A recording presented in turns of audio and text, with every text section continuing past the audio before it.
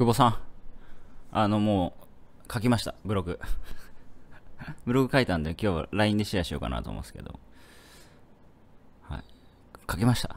もう有言実行っすね。もう終わ終わってた。終わりました。はい。で、まあ、今回ですね、まあ、あまあ、本当に久保さんもね、よくいただくわけなんですけど、いただいてるとは思いますけど、まあ、どうやったら稼げますかとか、何、何、どういうふうにやればいいですかみたいな、あの、まあ、言う人が後を絶たないわけですよ。で、結局、聞いてもやらないっていうね。じゃあ、それ聞く意味はあったのかと いうとこなんですけど、だからやらない、だからなんかね、やらないことが僕、ほんと失敗だと思うんですよね。別に変えたくないんだったら、別にいいと思うんですよ。だけど、あなたが変わらなくても時代は変わるよって話で。これでもう今回の示すね。あなたが変わらなくても時代は変わるよ。あなたはどう生きるっていう。あなたが変わらなくても時代は変わる。じゃあどう生きるうん。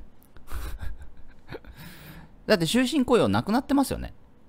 昔はね、一社に入ったらもう安泰みたいなね、終身雇用。うん、普通に働、なんか普通に出社してるだけで給料ずーっと上が上がり続けるみたいな。そんなのもうないっすよね。じゃあどうするの？っていう話で。うん。まあそれはもう自分で考えるしかないですよね そう。で、それに気づけないんだったら、何聞いても、あの、あの無理だと思いますけどね。時代は変わるけど、あなたはどうするっていう。時代はもう変わります。あなたはどうしますか？いってらっしゃい。